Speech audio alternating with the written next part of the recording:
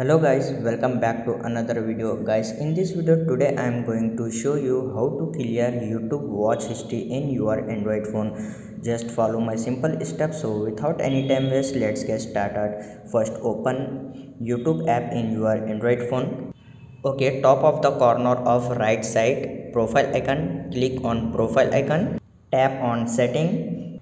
And then click on history and privacy option. Just click okay you can see here clear watch history.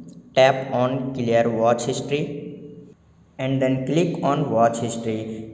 Your youtube app watch history will be cleared.